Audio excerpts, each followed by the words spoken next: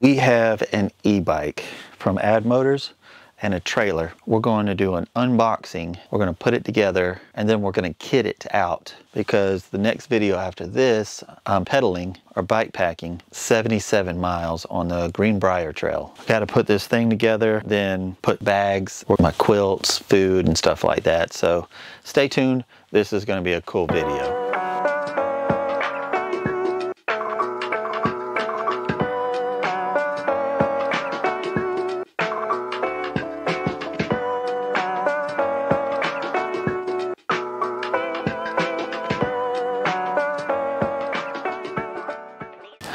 So the first thing you want to do is Addmotor works really hard on making sure their boxes and their packaging it, you can stand on and you can beat on. So when you first receive your Addmotor e-bike or trailer, take an inspection of it, make sure there's no damage of the box or anything like that. If they, if you do, they have 24-hour service. They are a great company for customer service. They've been around since 2011, and just their customer service is absolutely amazing. But let's open this up and take a look at it. So my first impressions, once we've gotten everything taken off, this bad boy is beefy. When it says this is the all-terrain M560, it's really built for off-trail, for dirt, sand, for the beach, uh, snow, for off-trail. You can obviously do this on-trail, like pavement, or anything else, but it really shines with the beefier aluminum alloyed frame. A lot of the bikers that do the aluminum, like the aircraft aluminum frames like this, it's just sturdier when you're beating on tough terrain and stuff like that. It's got aluminum handlebars, Shimano gears. What I've noticed so far is this is impressive. It's just beefy and strong and they there's a lot of them out there in the internet and on Amazon but for this price point and I'll put the price right here I mean, you're getting a lot I mean this thing is the the leather grips, the frame, the softer seat. This is a, a, very comfortable seat. The pedal, the welds, the battery, even these. These are not plastic. This that's aluminum. I'm just what I've seen so far. I am really impressed. They have put some money in this. And for the price point, it's something that I would be extremely interested in. So let's put this thing together.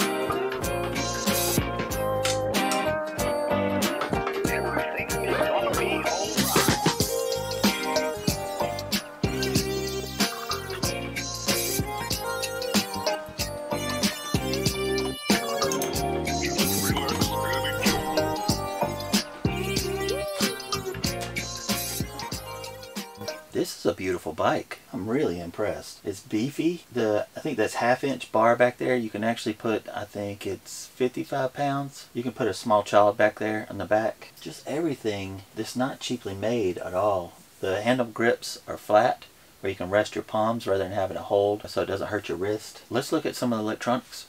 Let's plug in the cord. They have this unplugged so during shipping it doesn't turn anything on. Got to plug this in just right. It's got this little knot that lines up with it. and it slides right on in, just like that. And here's your key to unlock your battery. It's important to have a pair of these. There's a bunch of wire ties everywhere. All right, let's turn this thing on. Battery, just push this button right here and it shows you four bars. Your key, lock in just like that and then you'll be able to pull this right on out. You pull it out sideways. You locks this in and this bar right here, I don't know if you can see it, but you open this up, the bar goes up inside there. So I lock this bad boy in, lift this up, and it, it can't go nowhere now. With a 5 inch LCD screen, push this button right here, and we are set. It shows your wattage, your miles, and your miles that you've gone. This is your miles per hour. This is how many miles you've gone. And then this is your battery from full to empty. This here gives you your pedal assist.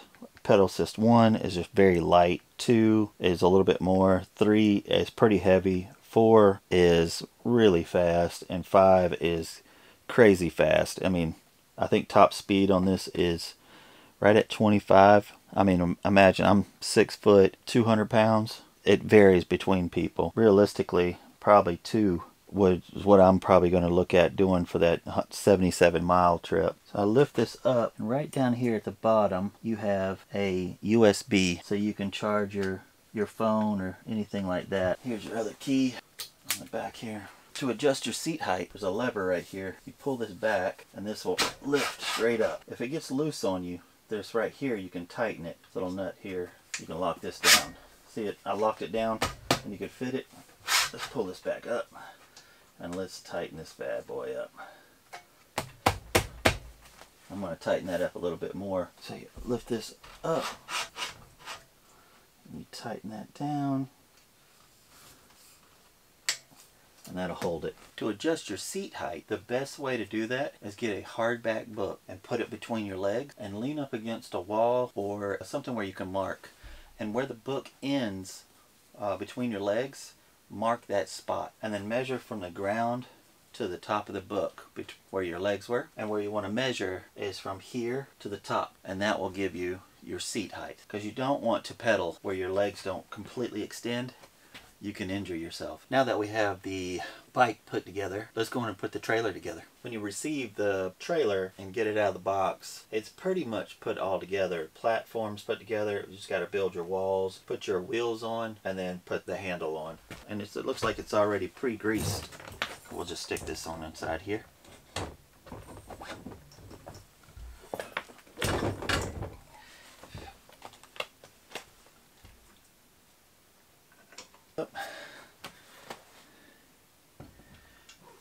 As close as you can. You can wiggle it around once you get it in there.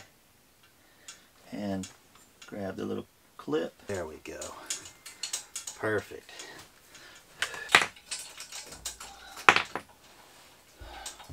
Grab this. Make sure that this is facing towards the inside of the body. There we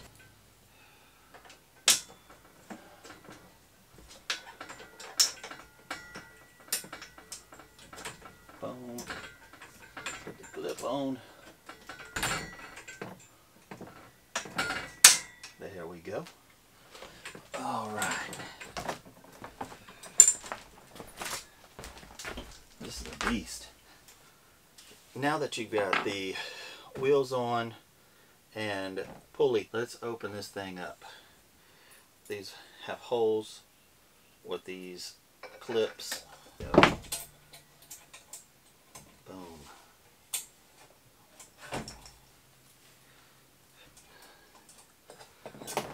This one up. There we go. Now we're going to put this right there. Slide it down comes with these screws that you'll stick right inside here to lock it down. There we go. So this also comes with a dry bag to fit on side here. It definitely has great quality, but if you have like your down pillow cover, down jacket, I would definitely still put it in a dry bag. But the material of this is dry bag material. I just don't know if I would want to trust it with like a sleep system or something like that. But let's put that on and let you take a look at it. It's got Velcro on the inside. You just lock it down just like that. Just like that.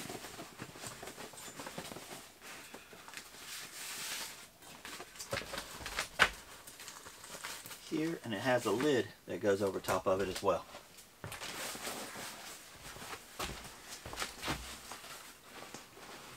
And it's a snug fit, but you would probably, you want that. There you go. That's it. And it has Velcro on the sides here you can lock the lid down. I'll show you that on the other side.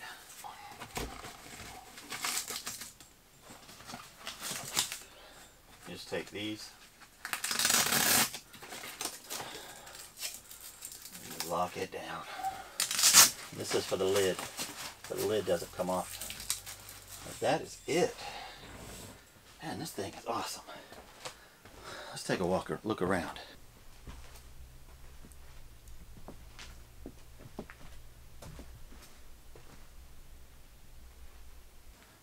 This is really impressive. So I guess the next part is we need to kit out my bike for a 77 mile bike packing trip. Let's bring the bike back in and let's start putting bags on it. Now that we've got the trailer done, now we're going to kit this thing out. I'm going to put saddlebags on it, cell phone holder. There's a bag that'll fit here. Two water bottle holders. I'm going to put a GPS on the handlebars that'll tell me turn by turn. Let me show you these straps I bought. All these straps super cheap. They replace like duct tape, bungee cords, all kinds of stuff. It's like a basically a little belt. I'll pull it out, let you see it. That's like that right there. But it straps in and locks in. I probably did it backwards. But like that. And it'll lock it in. So I bought a couple of these. They're super cheap on Amazon. All this stuff I have will link in the description below. But if I still need a little bit more room, which I doubt it with the trailer, um, we can put, we can strap stuff right here on the forks. That'll, that could hold, that could hold something as well. First thing is the saddlebags. Lock these down. This thing is so crazy beefy. This has clips that you can clip this on and it also has these little clips here that can latch onto here. But this thing's so thick let's see. If it'll lock down on it or not. Yeah it'll hold. It's got it. And then let's strap this thing down.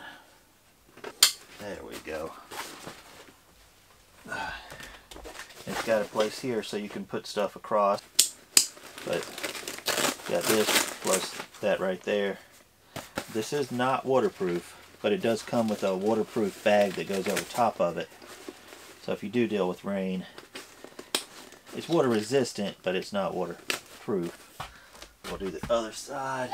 All right, the next piece, we got a bag that's gonna go right here. And I bought this from Amazon. It's Mammoth Empire. And because the backbone is so thick, I went to Michael's. You could probably get this on Amazon, Walmart. It's just, it's Velcro. It's like a male and female end. And I got, I've just put four extra pieces to strap over top of it. There we go. And then we'll strap the back side. Now I'm not going to strap this this here to there because it won't fit.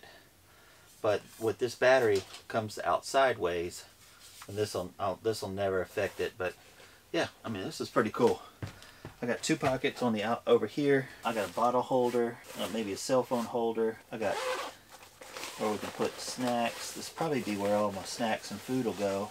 I like it. It's not super big. Pretty sure that'll hold. I don't see why not. The next thing is the handlebars. Putting in some water bottles, GPS, and our cell phone mount. The first thing I want to mount is our GPS. This is Hammerhead. It mounts right on the handlebar. You can download your trail on this. It'll tell you elevation, uh, what mountains you're about to see turn by turn. You can download your entire trip on this and it's really nice. You can put this download it right into your uh, from your computer there's different programs i think i got ride with gps that's the one i use and i'm not the smartest at all this stuff just yet i've never done any of this stuff before but that's to go right here by the L LED. Stick it right in here and that'll be where I can be able to see it. Alright, that's mounted. The next thing are these two cup holders. And what's cool about this is none of this stuff is expensive. I paid 10 bucks for these. The center bag, $24, 40 bucks for the saddle bags. None of this stuff's super expensive. This will hold my water. Got a place where you can store stuff right here. And they come with Nalgene bottles. But you can put water bottles or whatever you want in there. Locks itself down. Now we got two bottle holders, our GPS. I'm going to put my cell phone holder and like your wallet and your keys and all the stuff. We're going to put it right here. I love it. The only thing left now is we need to hook up the trailer to the back of it just so we'll know how to do it. So I pulled this off the trailer. It's on the end and I'm just going to mount it right here. And this will be the quick disconnect.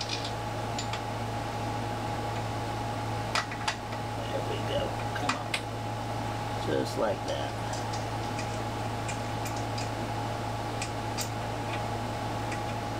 Whenever I want to take the trailer, and snap it on and off from right here. This is a strap. So if anything ever bad happens, this is just an extra safety precaution.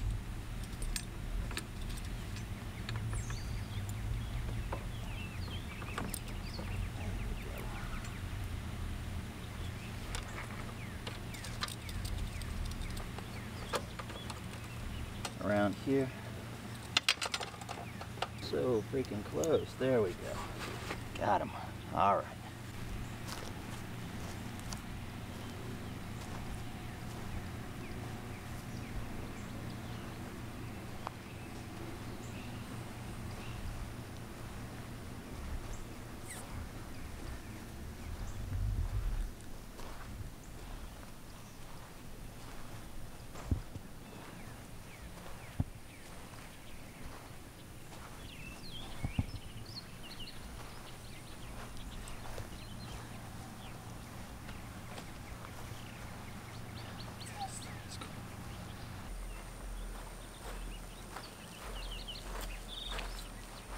Oh yeah, I need my helmet. I'll be right back. All right. I live kind of deep in the in the woods, so a block for me is about seven miles. So we're going to take this on a seven mile trip. That should give us a pretty good idea of what how this will feel. All right, let's ride.